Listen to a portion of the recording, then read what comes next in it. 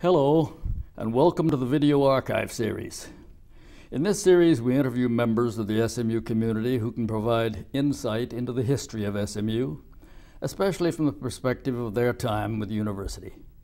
I'm Carter Murphy, and with me today is uh, SMU trustee Lamar Hunt. Lamar, it's uh, good to see you again. Thanks, Carter. Glad to be here. And uh, let's let's begin it at the beginning of time, in a sense, uh, about your coming to SMU. I know you had been preceded as an undergraduate by your brother Bunker and by your sister Caroline, I think. Did your mother play a role in her children uh, attending this university? Well, only I guess in the context that uh, I think I would uh, probably got influence from her and would like to have uh, come to SMU. I went away to a boys' school in Pennsylvania called the Hill School, Mm-hmm. and I was there for five years uh, between the ages of uh, 13 and 18, and approximately. So by being away five years at a boys' boarding school, I was ready to You- come home, and and also I was a big fan of Doak Walker and SMU football.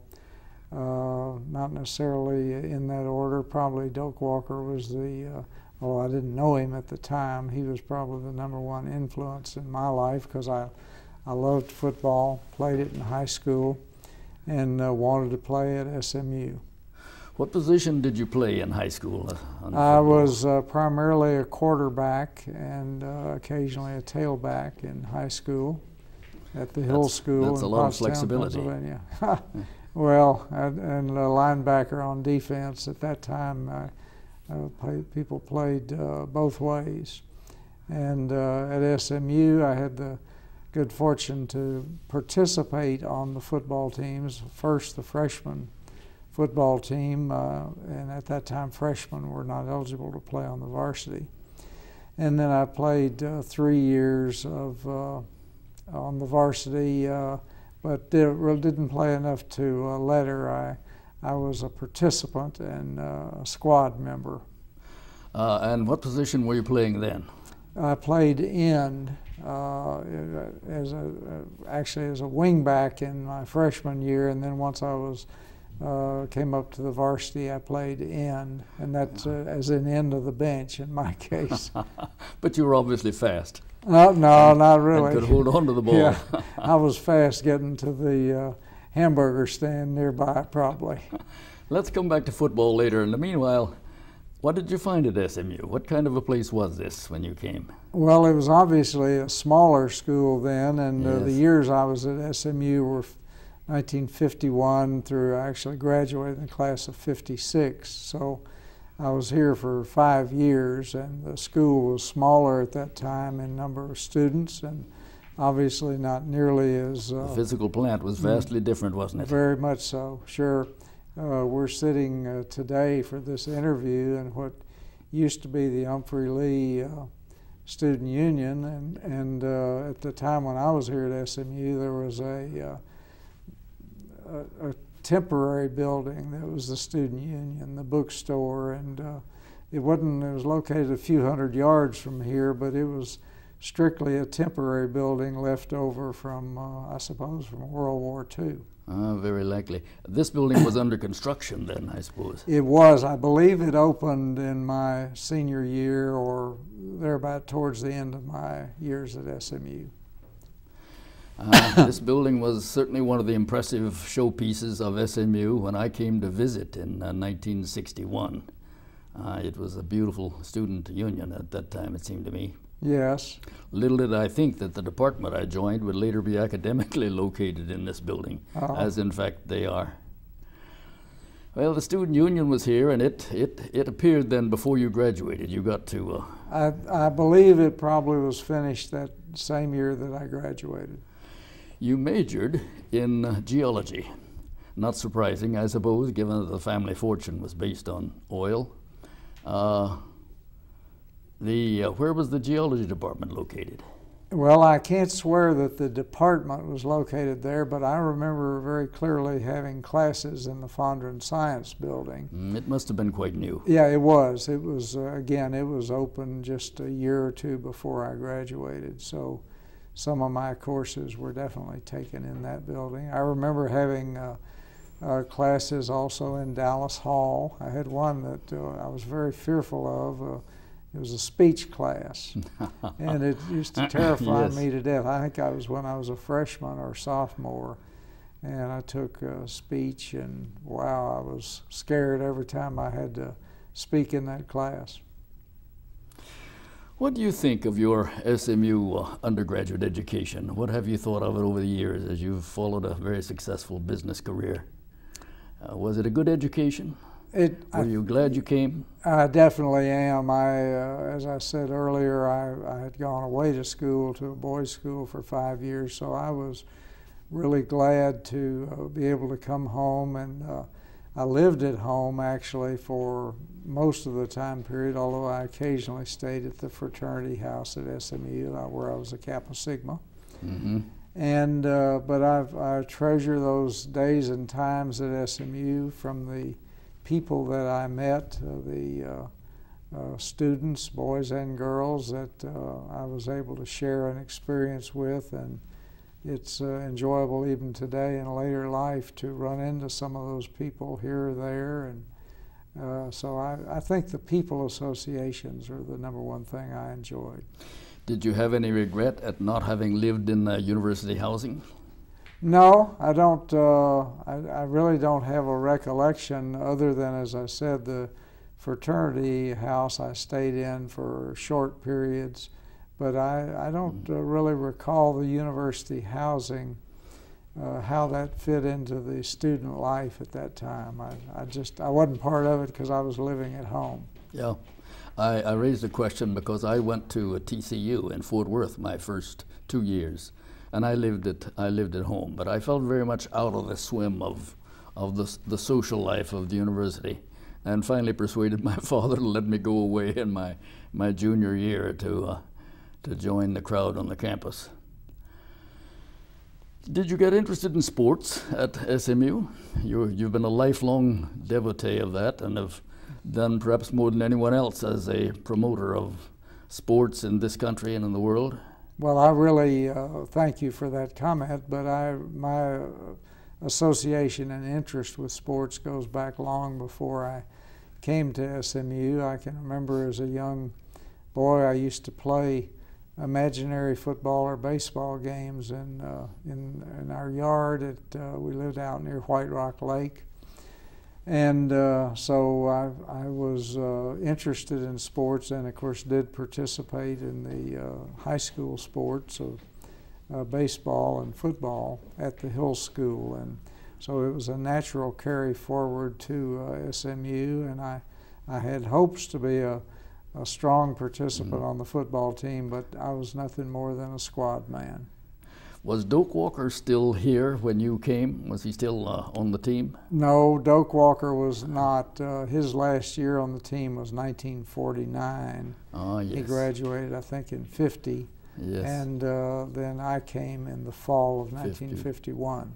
hmm Who were the other members of the team that you remember? Who were the stars of that generation? Oh gosh, there were there were lots of good ones, and uh, there are two that I'm very proud to have gotten to play with were Raymond Berry and Forrest Gregg, who Mhm. were both teammates, and both of them are uh, went on to great careers in pro football and are uh, in the Pro Football Hall of Fame as members there. And uh, but there were there were lots of uh, great players. Dick Hightower was, I believe, the captain of the team. Uh, probably my first year at SMU, captain of the varsity team. Well, Forrest Gregg came back to SMU and rescued us at an important an important time when athletics had fallen on bad times, and Forrest came and uh, was was enormously helpful in restoring things. He was indeed. The how about the other how about other sports? You uh, in your subsequent career, you've been much uh, associated with uh, soccer and with tennis. You formed the World Championship Tennis, as I remember. That's right. World been told. Championship tennis. I, I didn't play the game until I was in my 30s, but and was all never more than a mediocre player. But uh, I enjoy the challenge of the show business aspect of uh, uh, sports and the professional entertainment business, and, and we did form a group called World Championship Tennis, which uh, promoted tennis events. And uh, uh, interestingly, one of the uh, more successful ones we promoted was here on the SMU campus. Uh, and I remember that. Played came, in played in Moody Coliseum, was it not? That's right. Mm -hmm. Came to be known as the WCT Finals, and uh, Moody Coliseum was almost like a building that was designed for tennis. It was so had such great sight lines. Uh, yeah.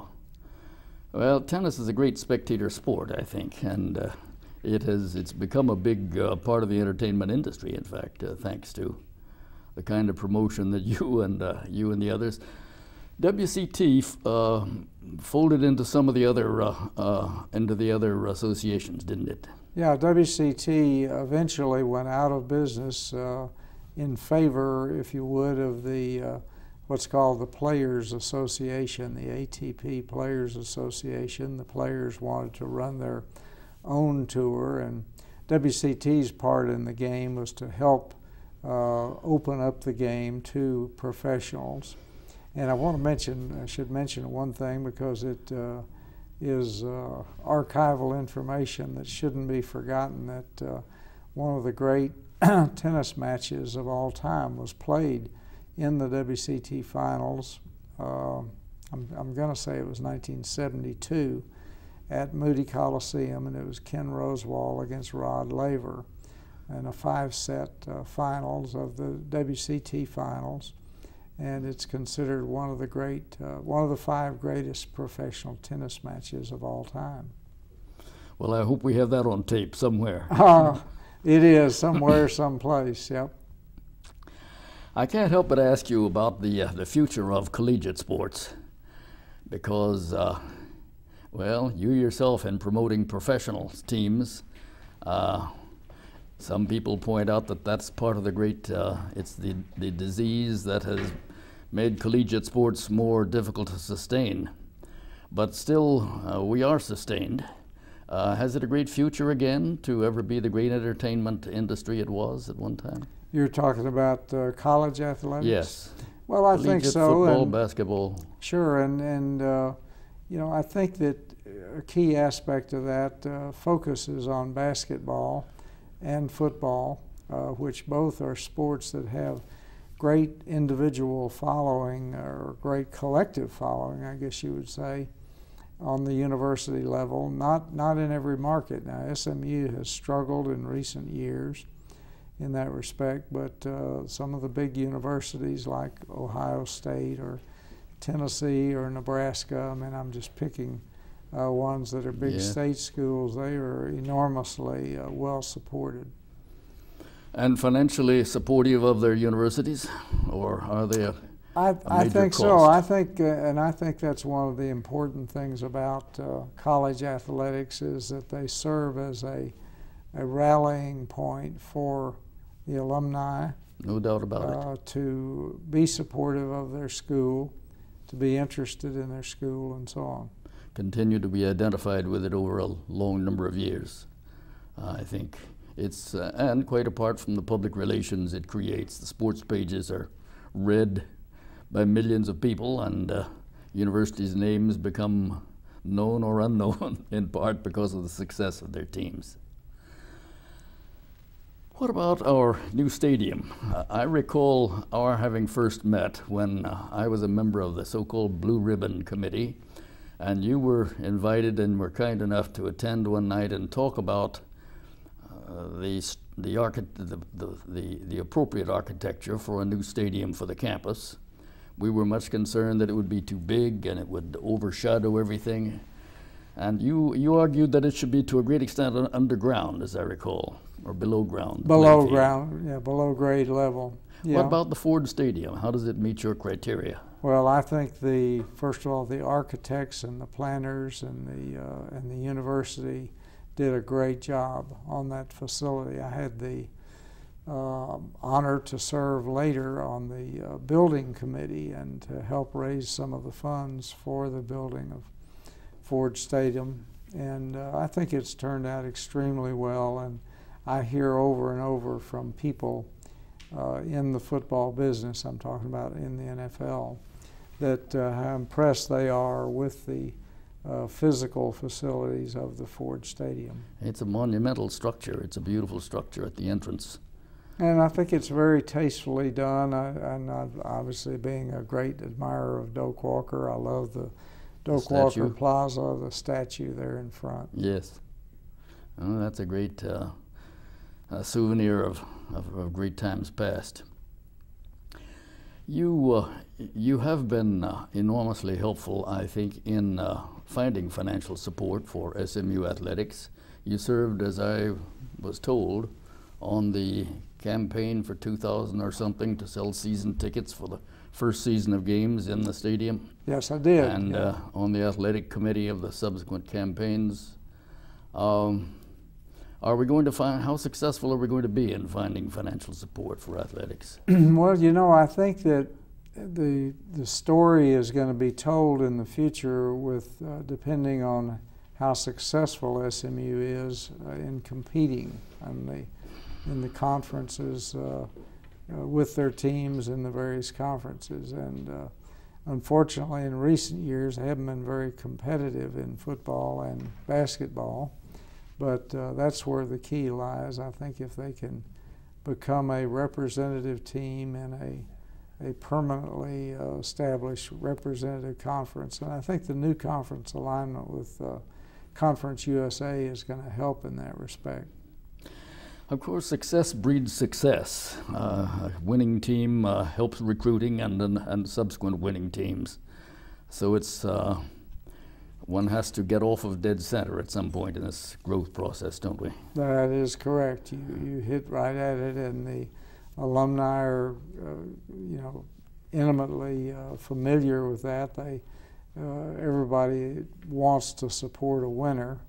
Uh, there's a, you know, a little more cachet, if that's the right word, to be supportive of a winning team than Yes. there is a losing team. Yes, it's fun to talk about when we're winning, and it's not so much fun uh, when we're when we're not. We mentioned earlier. Uh, I remember the importance of your son Clark uh, as the captain of the soccer team during the period when football was suspended on the campus and soccer became our great men's sport. And uh, we all we all turned out to the soccer games, whereas we we hadn't always gone to the soccer games before. But Clark was a hero of the university at that point. Well, he he had a uh, uh, first of all he had a wonderful uh, career at SMU as far as I'm concerned academically, uh, where he graduated as code number one in his uh, senior class. I remember using it as an illustration Mm, that ath- athletes needn't needn't be uh, poor students. Yeah, he was in the class of 1987, but he uh, played four years of varsity soccer and was a four-year letterman. He played uh, first for Jimmy Benedict for one year, and then Schellas Hyndman came when Clark was a sophomore, and uh, of course Shellis still is there. Uh, all these years later now, in 2005, he's still Mhm. coaching away here at SMU. But Clark had a fun career, and my wife Norma and I uh, got to en- enjoyed very much getting to see Clark play and be part of those fine SMU teams.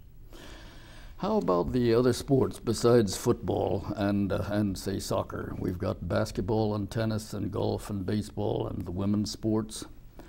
Uh, is there a place for those? Can we uh, do them uh, in a way that's financially viable? Well, I'd like to think that there is, and, and I believe there is. Some of them obviously are what are considered really non-revenue sports, and the, hmm the key ones we got to develop the revenue are men's basketball and, and men's football. But I think there's a place for other sports, and SMU's done a great job. Carl Neufeld, the tennis coach, has uh, achieved some great things with the tennis program, and and uh, Rhonda Rompola with the uh, women's basketball program, and various other coaches in other sports. SMU has been very well-rounded, good good swimming teams, and until recently, uh, outstanding track and field teams as well.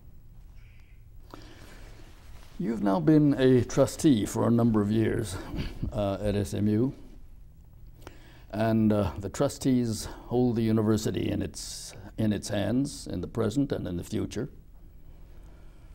What, uh, what, what are our, our great assets in uh, going forward? What are the SMU's strengths on which we build? Well, I think one of SMU's main strengths is the location in the, uh, The city of community Dallas. of Dallas. Yeah, the city of Dallas is a huge asset uh, for uh, really everything in this community uh, the people and the geographic proximity and the airport, and you can go on and on. There are lots Mhm. of uh, things that are great about this community, but uh, I think that's an important asset for SMU, and it uh, does uh, the school does attract students from all over the country, which pleases me because uh, I think that that a well-rounded university is going to be much more than just some young men and young women from the state of Texas. You need them from all over. We do, and for that we often need uh, financial support for students. Uh, the students who come from small towns often uh, look with great uh, fear at uh, SMU's costs, but fortunately, a large proportion of our students have some financial aid, and uh, which makes the education at a private institution possible. The I was a member of a committee at the time. Uh, at the time our current president came uh, concerning the relationship between SMU and the community. And I was convinced, and I think all my colleagues were convinced, that uh, SMU needed to reach out. It was not only the community that had to feed SMU, but SMU needed to participate deeply in.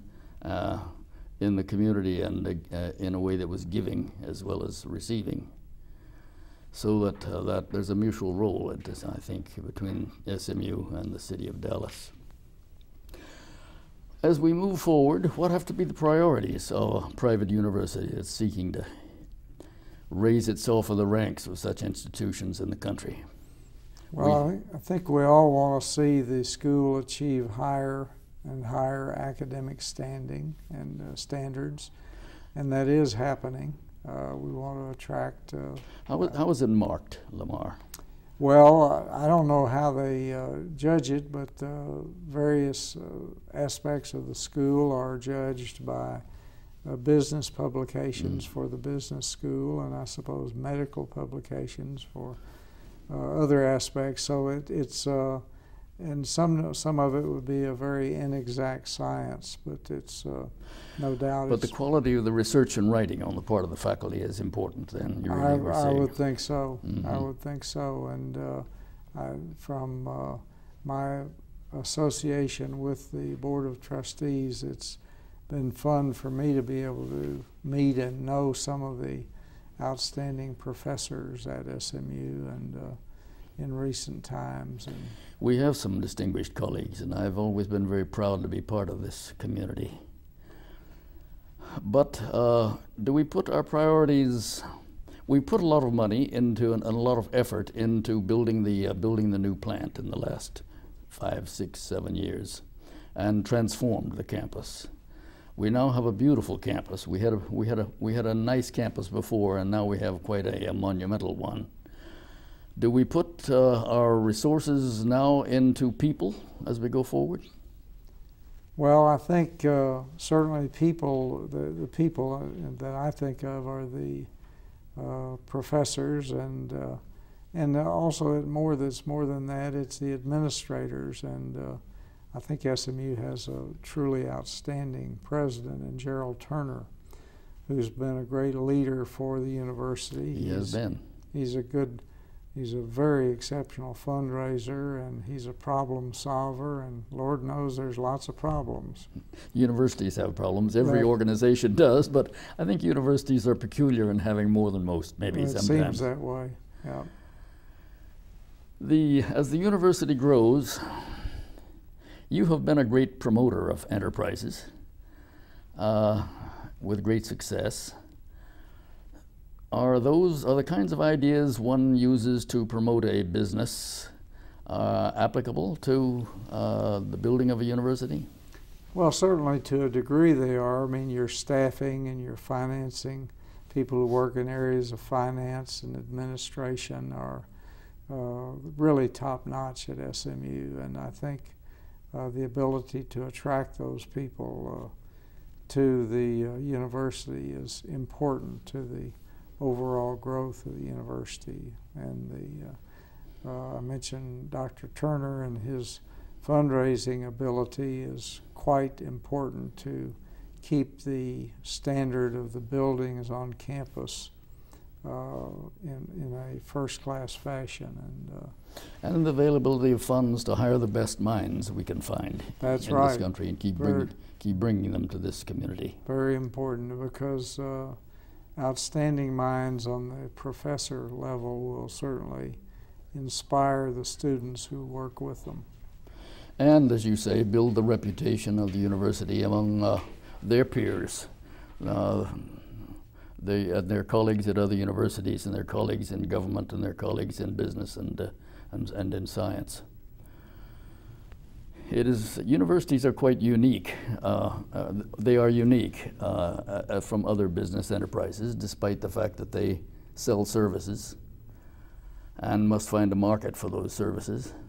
But we have these qualities of having a uh, most of its employees being lifetime appoint, uh, appointees and demanding academic freedom, and demanding participation in governance of the institution. One doesn't find those in a private enterprise.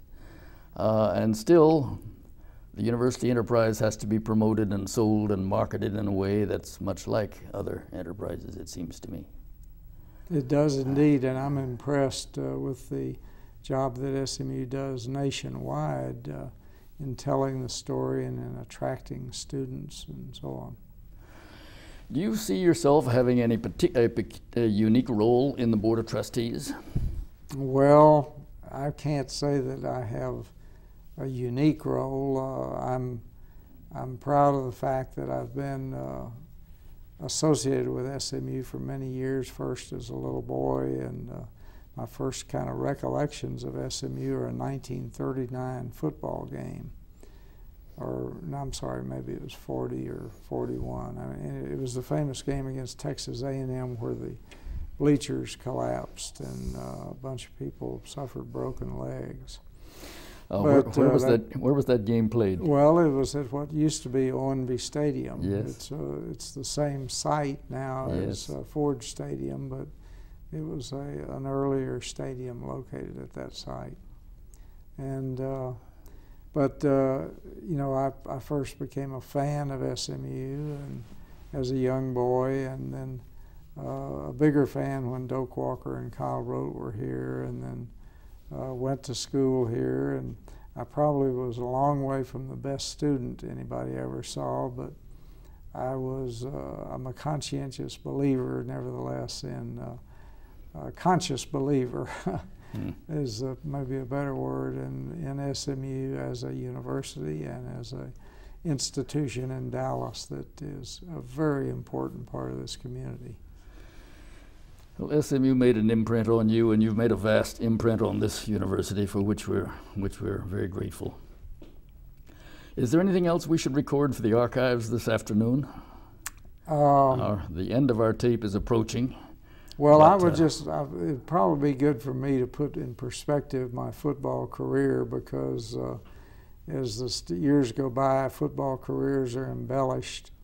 And uh, I remember clearly that uh, the SMU football team played a 10 game schedule when I was here each year.